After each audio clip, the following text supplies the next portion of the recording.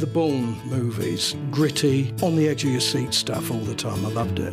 There was a reality about it. You could imagine that happening. And I love Russell Crowe. My son bought the DVD. You've not seen Maid Marian before on a horse with a, like a sword and a bow and, you No, know, fighting true, yeah. people. He's a secret agent, isn't he? They're supposed to hop around that way and they hop around. Oh, yeah, he went the wrong way round. Oh, yeah. My unforgettable, my universal. I'll probably mess everything up exactly the same. You probably would as well. Yeah, I would. DVDs at great prices.